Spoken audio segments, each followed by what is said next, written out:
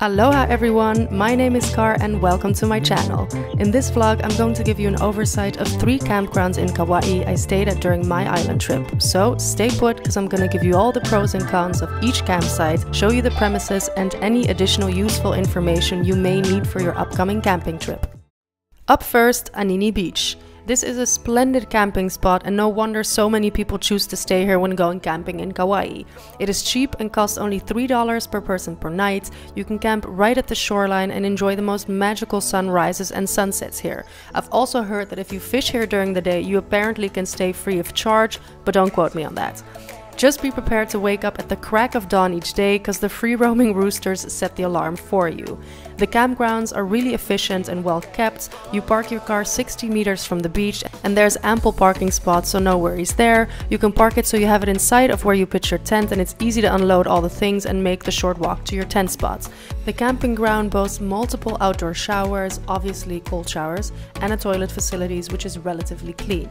There are also multiple sinks spread around the campgrounds where you can wash your dishes and tables to enjoy your meals.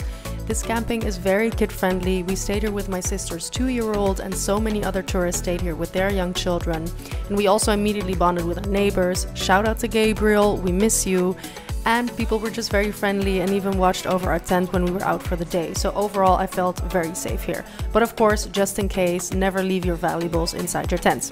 Anini Beach also has lifeguards during the day, even though the water is always extremely calm, making it the perfect spot for snorkeling and swimming. I even swam with turtles here multiple times. Once a week from Tuesday 10 a.m. until Wednesday 12 a.m., the camping has to be vacated completely for maintenance. And also make sure to print out your permit and hang it on the outside of your tent as they come and check occasionally. And I have been told that tents without a permit may get removed.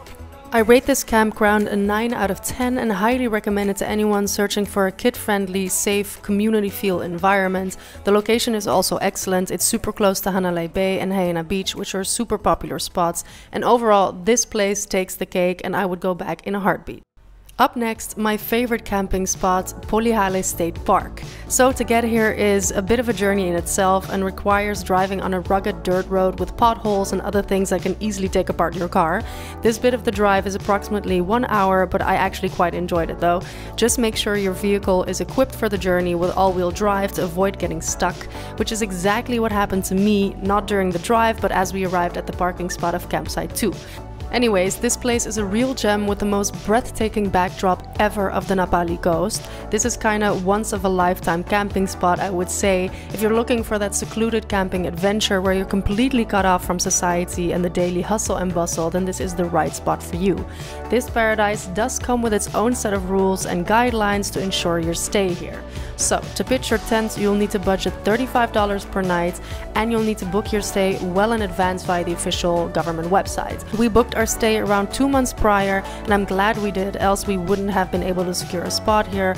But also, only a certain amount of people are allowed to stay in the park per night, so availability is kinda hard to come by, especially for last minute reservations. Upon arrival at the park, state park patrols will verify your permit, sometimes even multiple times. In fact, they checked our permit twice in the same night, ensuring adherence to park regulations. And amongst those rules, camping near the toilet facilities is mandatory for safety purposes. Also, remember maintaining cleanliness is paramount here, littering or cluttering is strictly prohibited. And this is going to be a bit of a bummer to hear, but drinking alcohol and smoking is not allowed here. But it's also an opportunity to embrace the tranquility of your surroundings and immerse yourself fully in nature without distractions. Despite the remote location, Polihale State Park offers the essential amenities. They have a public open shower complex and toilets which are pretty well maintained. There's of course no electricity or other modern comforts one may need, and cell phone service goes in and out as well, just be advised. This spot is also quite popular for buggy enthusiasts and surfers. Just be aware that there are no lifeguards here, so when in doubt, don't go out. In conclusion, Polihale State Park offers a real unique camping experience and earns a rating of 10 out of 10. I loved every minute of my stay here, I never got bored and just enjoyed lying around on the beach during the day and stargazing at night. It was an absolute dream. Number 3 Anahola Beach. So I only had a brief stint at Anahola and this was the day of our arrival in Kauai. It was the campsite nearest to the airport so it made sense as we were arriving late to the island. I'll be very honest in this review about this particular campsite, it really wasn't my favorite place, perhaps because it pales in comparison to Anini and Polihale, but there are a few other factors that contributed to my rating. So, first off, this is more of a campsite for locals, which I found out about when I arrived, but also heard about it later on in my stay on the island from other campers. Nothing wrong with that, of course, but we experienced during our stay that this is a late night hangout spot for groups of friends, hanging around their cars, drinking, and having a good time. So for us traveling with a baby that needs to sleep, it just was not ideal because they were quite loud. We didn't see that many tourists around, so we felt a bit isolated perhaps. There were also some abandoned cars on the far end of the campsite filled with junk, and we weren't sure if anybody was living there or not, but it just looked a bit shady. But of course, there are also some positives. First, the toilet and shower amenities were very similar to the other campgrounds and were just fine, and there were also various spots around the campgrounds with tables to comfortably have your food.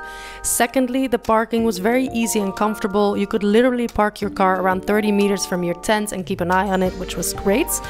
Price wise, the campsite costs $3 per person per night, just like Anini Beach, so it's super cheap and the view of the ocean is, of course, spectacular. You cannot debate that.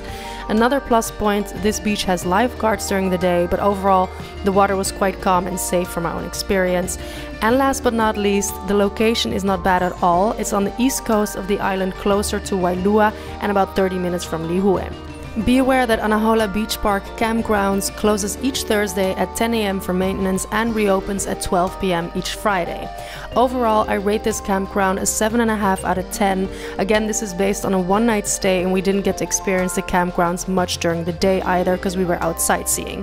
But in my opinion, I definitely preferred the other campgrounds a bit more. That's it guys, I hope this vlog was useful for you and now you have a better idea of where to stay in Kauai if you decide to go camping. Don't forget to like and subscribe or drop a comment below. Mahalo!